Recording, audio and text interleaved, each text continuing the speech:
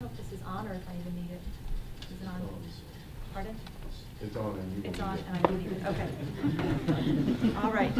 Um, Thank you all for coming out this afternoon. I'm glad the rain cleared up a little bit.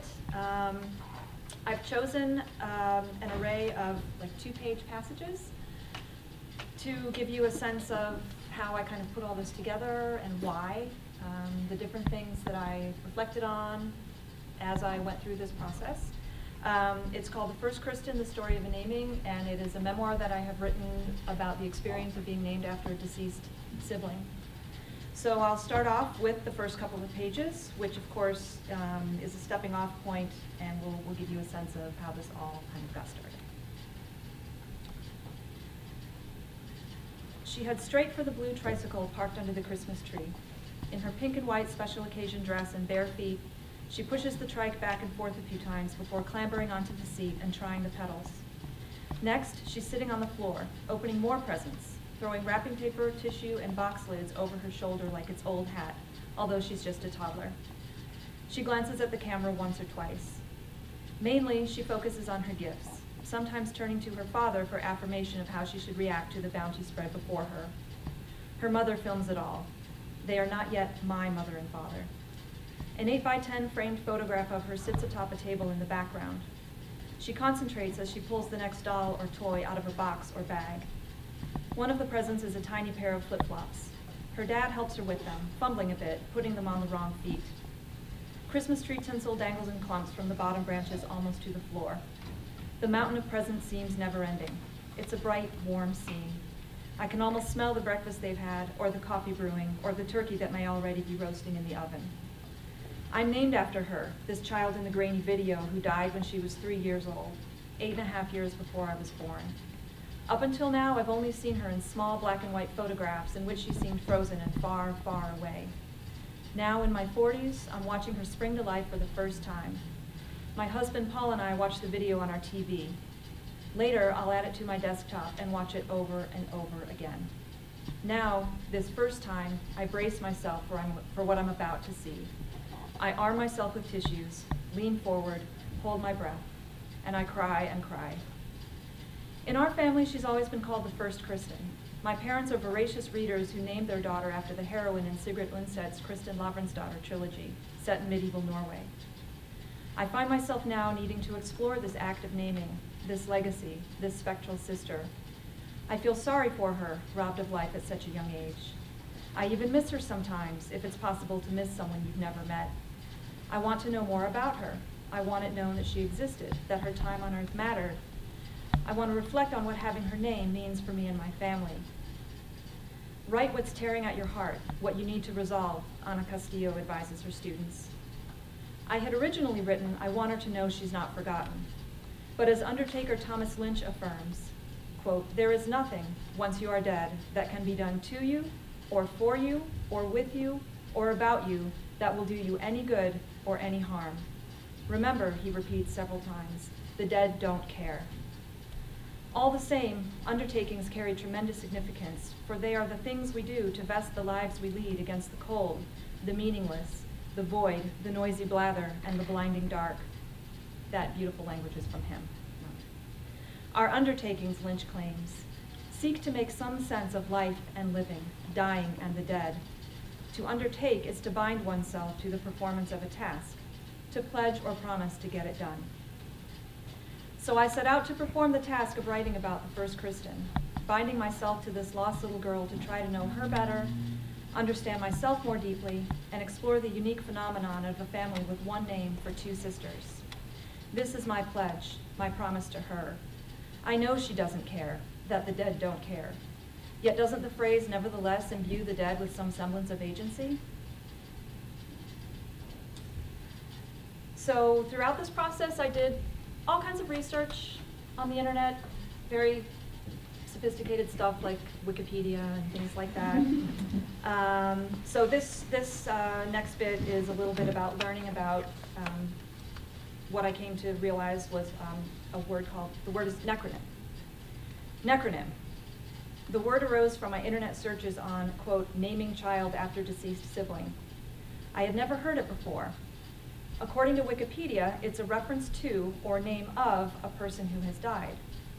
In the article What's in a Necronym, Jeannie Vanasco gets more specific.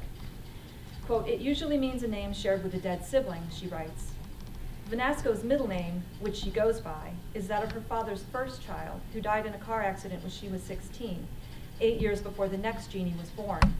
And the next Jeannie didn't learn about her deceased half sibling until she was eight years old, and then only sort of accidentally. Until the late 19th century, Vanasco writes, necronyms were not uncommon among Americans and Europeans. If a child died in infancy, his or her name was often given to the next child, a natural consequence of high birth rates and high infant mortality rates. She cites Ludwig van Beethoven, Vincent van Gogh, and Salvador Dali as among those who bear the name of a deceased sibling.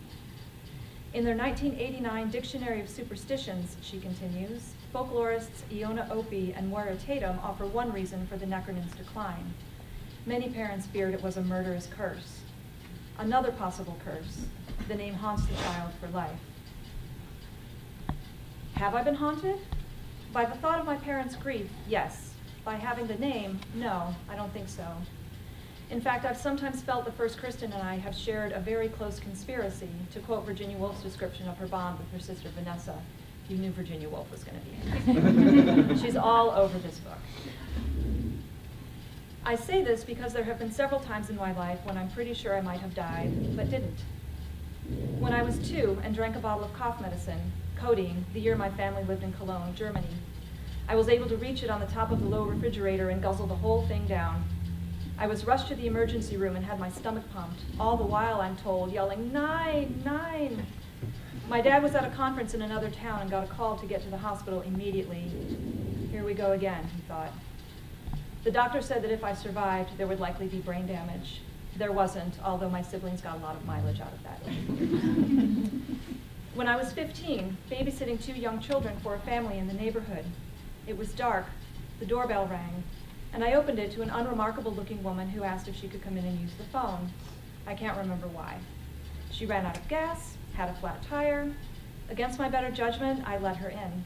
About 20 seconds later, the mother's brother happened to stop by and come into the house for something. Seeing him, the woman hurriedly left. Phil looked at me in surprise and disappointment and said never to let a stranger into the house again. Who knows what might have happened had he not come by? Who knows who else was in her car, waiting to rob the house, hurt the children, hurt me.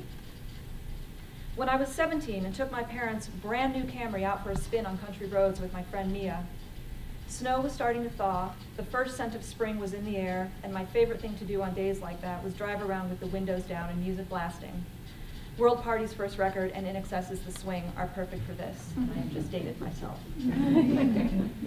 we drove around a curve going much too fast and hit a patch of ice. The car fishtailed wildly on the narrow road with a drop into a wooded area on either side. Somehow we didn't flip or go over the edge. We just skidded to a halt, sat in shock for a minute, and slowly drove to a car wash. Is it too woo-woo to imagine the first Kristin was watching over me, making sure our parents didn't lose another child, especially the one with the same name? Of course it is. But I will fess up and say that for a long time, I believed she was my guardian angel. I don't ever recall specifically asking my parents about their decision to name me Kristin, but I must have because I remember a time when my mother talked about it, and I don't think she would have unless I brought it up first. We were outside walking somewhere when she said, we didn't name you after her, we just liked the name, citing our middle names as proof. Mine's Elizabeth, hers was Mary. Even at age 11 or 12, hearing this from my mother though, I thought there must be more to it than that. Surely there were other names to choose from that they liked. Surely they must have realized this was a little odd. Surely they could imagine how others, their family and friends, might react upon hearing they'd named their newborn Kristin. Did they consider the possible ramifications of this naming? Did they imagine how it might make them feel over the years? Did they later think about how it might be affecting my sister, Cynthia, born 18 months after the first Kristin died? Or my brother Ted, born three years after that? Or me? Maybe by the time I came along, enough time had gone by since the death that they simply recycled a name they liked. But I'm not so sure. As my friend Annie said, one can only believe there's more to it. But, she added, there's also something perfect about her simple answer. I guess when we named you Kristin, we were trying to preserve the memory of her life, my dad emailed me when I embarked on this project. I hope you never thought that we were trying to erase your identity in any. I did think back then perhaps we should have named you Elizabeth Kristin rather than the other way around. He reiterated these sentiments in another email. All I can say is that we wanted a daughter with the name of Kristin, he wrote, although we did not think twice in giving Cynthia her name. But by the time you were born, a lot of years had passed, and we still loved the name, suggested to us by Kristin Lavransdatter. We almost named you Elizabeth Kristin, but did not give much thought to how you would feel about the name years later. Perhaps we should have, but we wanted to keep Kristin in the picture. We talked a lot about it before deciding for sure, my mother has said, but we wanted a child named Kristin. We loved the name. At least one person who knows my parents well assumed that my dad was the one who pushed for the name more so than my mom. But it sounds like it was a matter of some urgency for both of them.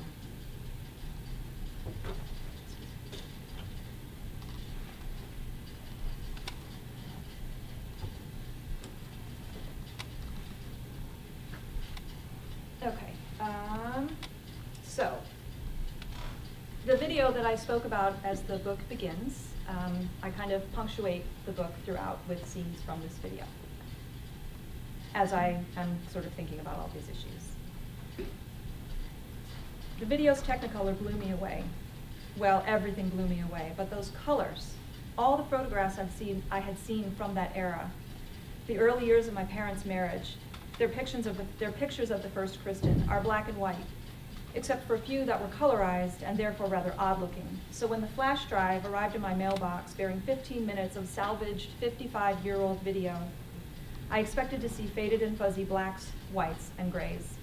But it's in glorious Technicolor, and after about seven minutes of my parents' cross-country road trip, Yosemite, Old Faithful, black bears sauntering up to cars and getting a donut, it's the mid-1950s after all, a visit with my dad's parents at their lakeside cottage in Wisconsin, and a few second, seconds of hectic black squiggles on an ivory screen. There she is, making a grand entrance. Literally, for our parents have staged it so that she walks through a door that one of them has opened while out of sight behind the scenes. The first Kristin gives the camera a shy smile as she walks by, her fingers held up to her mouth. There's no audio, which for some reason makes it all the more devastating. I have just a handful of memories from my childhood in which my parents alluded to or spoke directly about her. I don't remember what precipitated the comment, but I recall being in the car with my mother one day.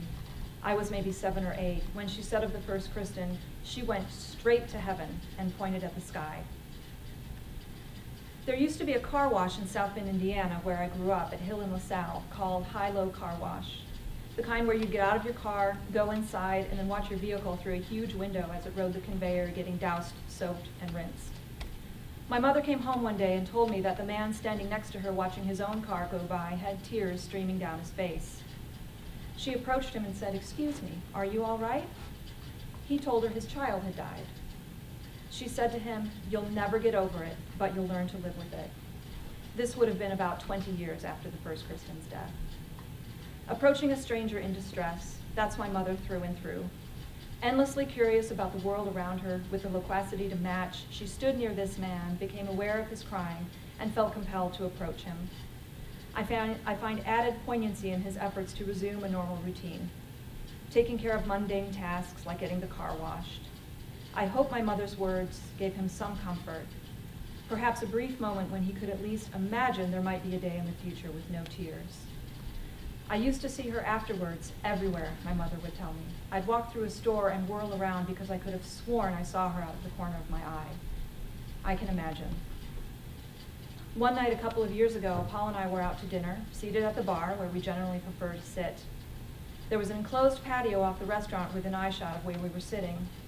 At one point, a young family got up from the patio and walked back through the restaurant to leave. I sat up, bolt upright in my seat, and stared, because holding the hand of her parent was a beautiful little three or four year old girl who to me looked exactly like the first Kristin. I mean, exactly. As they walked by, the little girl turned around, made eye contact, eye contact with me, smiled, and waved. In a jam packed, noisy restaurant, she turned and looked right at me. Then she turned back around and left. One Christmas Eve, my parents opened their front door and found a stray kitten outside, mewing to be let in. The first Kristin had been begging for a kitten, but my parents for some reason didn't want to get one. As a child, I grew upset at this part of the story, imagining them placing a tiny kitten back out into the snow and freezing temperatures. But then I remembered it was warm where they were. Telling the story decades later, my mother remains amazed at the coincidence, happy accident, miracle. What to call this gift, if only of a few hours, given to their child on what would be her last Christmas? Um, so as you may imagine, a lot of this um, brings in literature that I read, and so things about this reminded me of certain things I have read. Um, while I was thinking about all this, I would read a poem here or a poem there, and it would just kind of strike me. So there's, of course, literature all throughout here, and this is an example of that. She looks like us, my brother said, telling me about the video before sending it. Us. The four of us are an us. We look alike. More than that, we are each other, which I learned to my astonishment from poet Heid Erdrich's book, Cell Traffic. I bought it because she's Louise Erdrich's sister, my favorite living writer, who has a new novel coming out tomorrow, just know. Uh, and I wanted to see if the talent runs in the family. It does. Because I like to support Louise's independent bookstore, Birch Bark Books, and because I've been immersing myself for many years in Native American women's writing. Opening Cell Traffic, I read one of several epigraphs that took my breath away. Quote, in fact, some reachers now think that most of us, if not all, are chimeras of one kind or another. Far from being purebred individuals composed of a single genetic line, our bodies are cellular mongrels, teeming with cells from our mothers, maybe even from grandparents and siblings. This is a quotation taken from an article by Claire Ainsworth called The Stranger Within. I believe I stopped breathing altogether when a few pages later I encountered Erdrich's poem, Microchimerism. Nub of human, the poem begins. Shell pink fingernail. Whether you live or all unformed leave her body, she will never be without you. This, scientists tell us, is literally true. The cells from her miscarriages, her stillborns, and all of her children, we carry them for a lifetime. But the cells actually go both ways. Nub of human, your cells migrate, are found at sites hurt in the maternal body, and in successive siblings, even those you never knew, even those who never knew you. I never knew the first Kristin. She never knew me. But her cells circulate through my body, and Cynthia's, and Ted's, although the poem cites the mother's privileged claim to those cells. She will never be without you, Erdrich writes, a line repeated twice. Words to comfort the lost child, along with the grieving mother.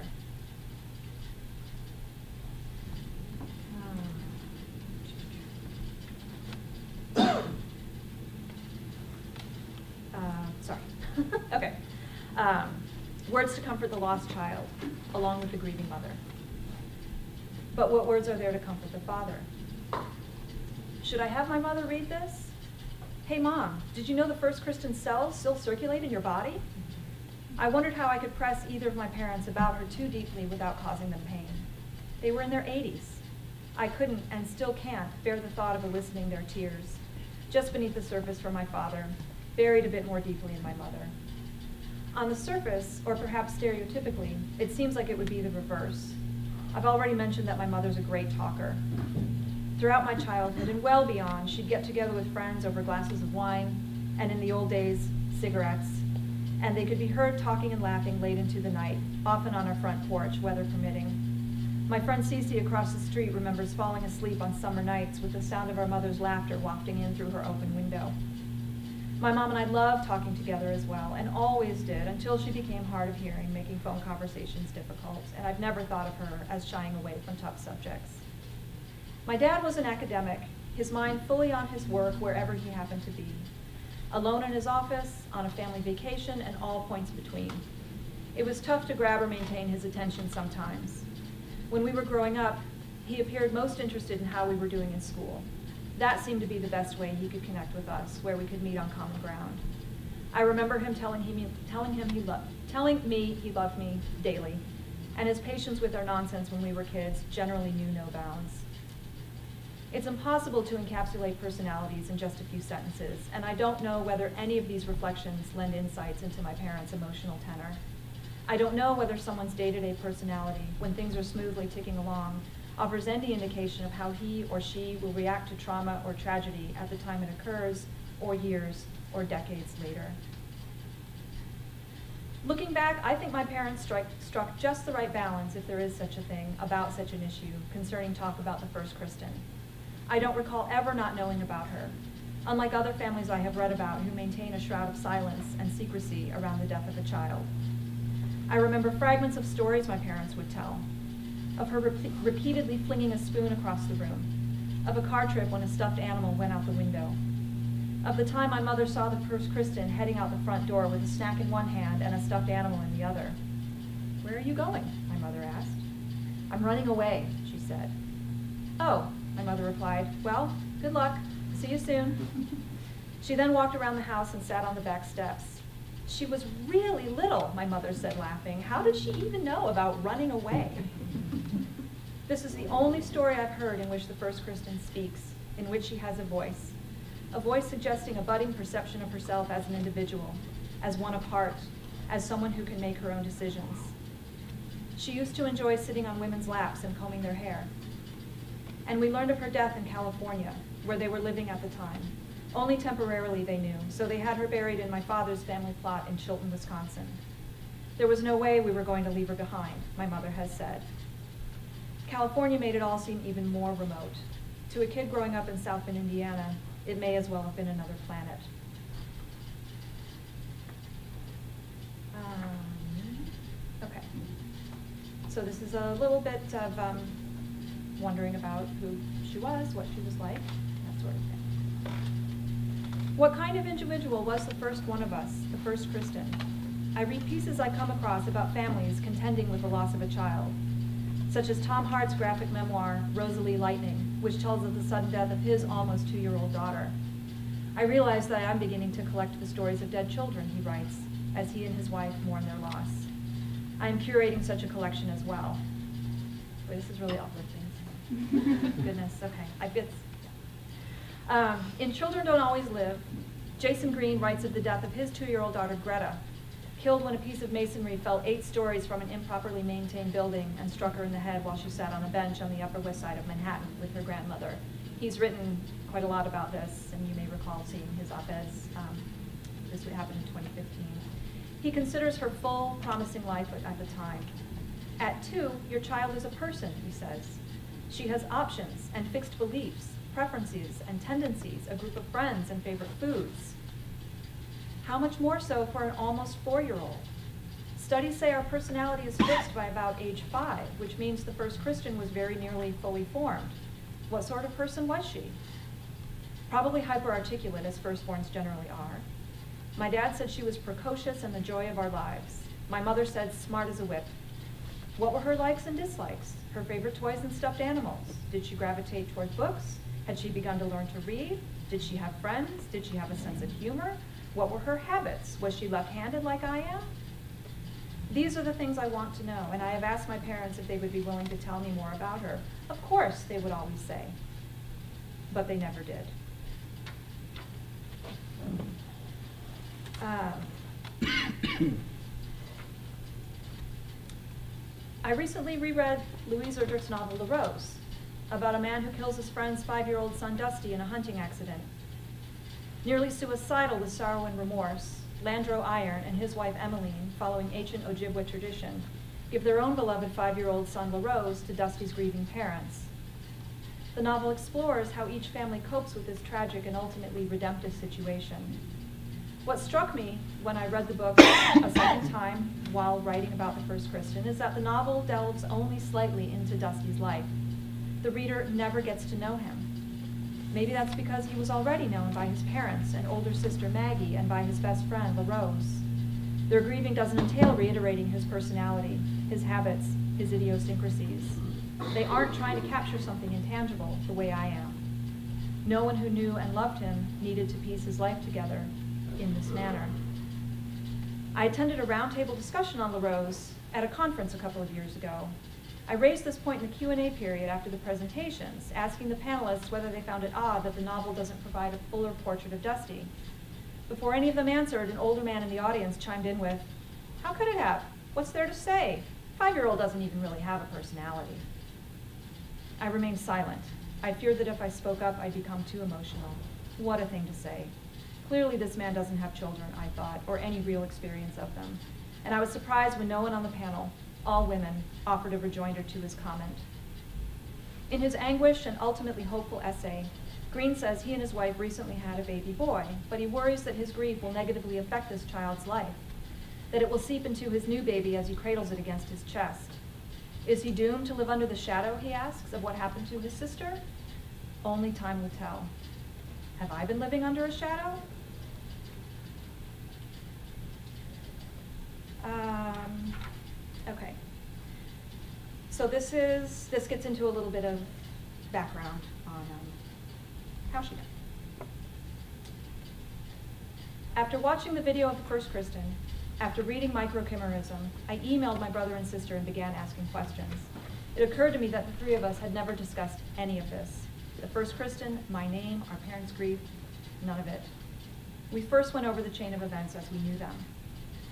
As the first Kristin began to walk, excuse me, to grow and walk, my parents learned she had scoliosis. Infantile idiopathic scoliosis, I learn, is the name given to the diagnosis in children from infancy through age three. Or maybe it was congenital scoliosis, when the spine becomes malformed in the womb. More than 80% of scoliosis are idiopathic, I read, so there's no known cause. Doctors told my parents there were two options. Their daughter could either be in back braces and casts until she was through puberty, or she could have surgery right away to correct the curvature once and for all. In fact, she wore a plaster cast from collarbone to hips for the last year of her life. It's apparent in pictures. Her little dresses jut out a bit, and if she's wearing pants, the shape of the cast can be detected underneath. I can't imagine wearing a plaster cast like that for months on end. The stiffness, the itching, the California heat, I don't think I could stand it. My mother says she never complained and quickly learned to adjust. She used to go down the slide on her stomach, she told me recently. She realized she couldn't slide down as well on her bottom, so she just flipped over and went down that way. My parents opted for surgery, presumably with the greatest of assurances from the doctors. They watched their perfect, healthy child enter the operating room, and they waited. She never came out. It was March 8, 1961. My dad explained the cause to us kids as lack of adrenaline. My brother provided more details. As it's been explained to me, he wrote in an email to my sister and me, the problem turned out to be that she had underdeveloped adrenal glands. Apparently, as you're taking off general anesthesia, the, the adrenaline in your system is what gets heart, lungs, etc., to kick back in and function on their own. As I understand it, the mechanics of the surgery itself went as planned, but as they took her off the anesthesia, her heart and lungs didn't restart due to a lack of adrenaline. I have since learned the term for underdeveloped adrenal glands, hypoadrenalism. I read about it in an effort to understand it more and soon found myself mired in the complexities of the condition. It has to do with a deficiency of the steroid hormone cortisol, which is a potential fatal deficiency if left undetected, clearly. I learned that a simple blood test can determine cortisol levels and therefore any necessary treatment for hypoadrenalism. The main problem, I read, is that the need for cortisol increases during physical stress, such as major surgery. Yes.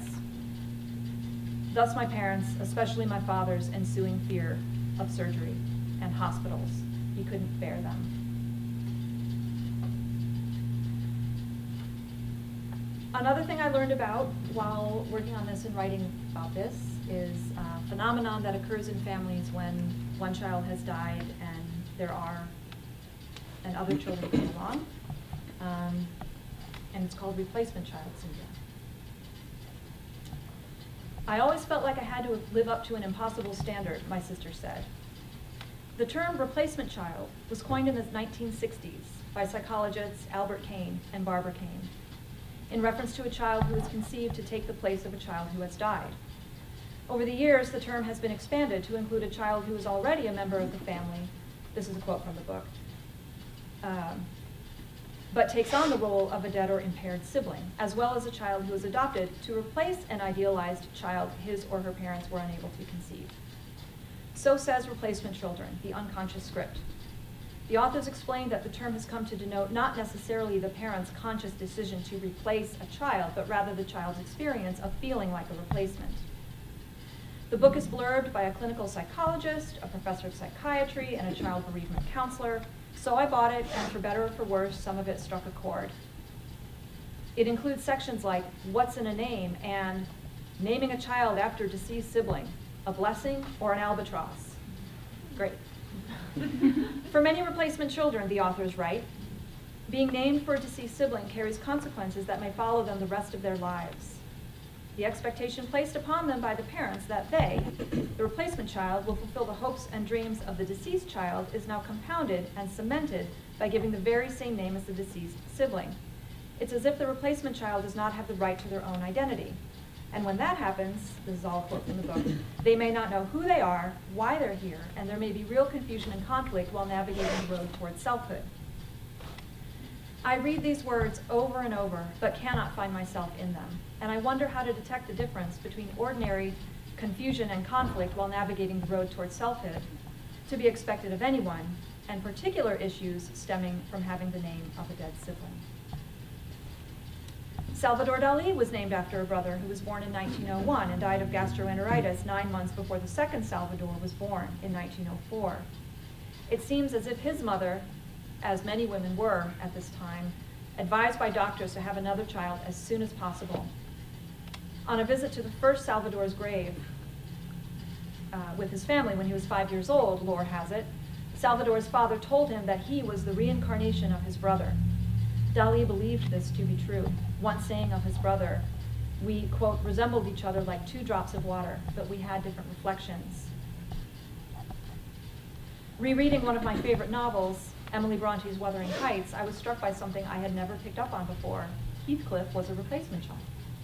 As Nellie Dean explains to Mr. Lockwood, Mr. Earnshaw had found the dirty, ragged, black-haired child on the streets of Liverpool and brought him home to be part of his family. I found they had christened him Heathcliff, Nellie continues. It was the name of a son who had died in childhood, and it has served him ever since, both for Christian and surname. Earnshaw grows to favor Heathcliff above his biological children, Cathy and Hindley. Did he do so because he considered Heathcliff his reincarnated son? And is this a factor in why Hindley despises Heathcliff so much? And just a couple more passages. Um, okay. Just further reflection on all of these issues. In Chicago recently, which is now about over two years ago, it was recently. In Chicago recently, I paused in front of a sculpture by Donald Judd in the Chicago Art Institute's Modern Wing. I found the work arresting on its own, and even more so, with spines on my mind, after reading the description affixed to the wall. The artist's signature stacks, the artist's signature stacks of identical cantilevered wall boxes run like a spine connecting floor, wall, and ceiling. Judd was exacting. The space between each box unit is equal in height to the boxes themselves, for instance. And yet, the spaces between these boxes are also tinted by a warm, soft amber glow. This work hides nothing, at the same time it remains perceptually surprising, even elusive. Elusive. A small child glimpsed under cellophane in old photo albums and, as was more often the case, in piles of pictures stashed in envelopes. A shadow sibling, known, barely, through disconnected fragments doled out sporadically and then less and less frequently over nearly 50 years. As I hold the first Kristin steadily in my mind now, however, gently probing my parents for their memories and details, asking my siblings for their thoughts, repeatedly watching the video, rereading various poems and learning about replacement children and spines and scoliosis, she begins to assume greater shape. She attains greater solidity. That evanescent figure in the old photographs is becoming her own person. She grows familiar to me, and I begin to see her as a warm, if elusive, connector of me to my other siblings and to my parents, but especially to her. I begin to feel like her protective big sister rather than the other way around, rather than the way it was supposed to be. Antelope Woman is Louise Erdrich's revision of her 1998 novel, The Antelope Wife. She has explained in interviews that her stories and novels never truly end as far as she's concerned, and that she wanted to return to the Antelope Wife to right some of the wrongs she felt she had done to her characters. The earlier novel includes the accidental death of an 11-year-old girl, Deanna, who leaves behind her devastated parents and twin sister Cally. In the revision, Deanna lives. And this is approaching the end where I'm reflecting a little bit on the process of writing all of this. I think about what I've accomplished in writing this memoir and what still needs to be done. How do I feel now, having been through this process? What should I feel? What do I think about the first Kristin now? Do I know her better? What do I know about myself and my family that I didn't realize before? Has this brought us all closer together? Have I changed in some way? In The Truth About Stories, a native narrative, Thomas King ends each chapter the same way. Take this story, for instance. It's yours. Do with it what you will. Make it the topic of a discussion group at a scholarly conference. Put it on the web. Forget it. But don't say in the years to come that you would have lived your life differently if only you had heard this story. You've heard it now. Now that I've heard the story of the first Kristin, will I live my life differently? Except that I'm still not sure I have actually heard it. When all is said and done, I still know more about her death than her life. It's like we were always told about these things, but not the specifics, Cynthia recently texted. Moreover, this is Cynthia's story, as well as the first Kristin's and mine. And above all, it's our parents' story. What do I hope they get or got out of my writing this memoir? Certainly, I want them to know how much I appreciate the life they have given me. I want to demonstrate that I have lived it to the best of my ability. Early in Virginia Woolf's novel, Mrs. Dalloway, Clarissa Dalloway sits mending her dress in preparation for her party that night when her old friend, Peter Walsh, whom she had almost married decades before, stops by to see her after spending several years abroad. Do you remember the lake? Clarissa asks him. Under the pressure of an emotion which caught her heart, made the muscles of her throat stiff, and contracted her lips in a spasm as she said lake. For she was a child throwing bread to the ducks between her parents, and at the same time a grown woman coming to her parents who stood by the lake, holding her life in her arms, which, as she neared them, grew larger and larger in her arms, until it became a whole life, a complete life, which she put down by them and said, This is what I have made of it, this. And what had she made of it? What indeed? Sitting there sewing this morning with Peter. If I could carry my life in my arms and present it to my parents, what would it show? What contours, what heft would it assume? Would it be enough to compensate for their loss? I'll go ahead and.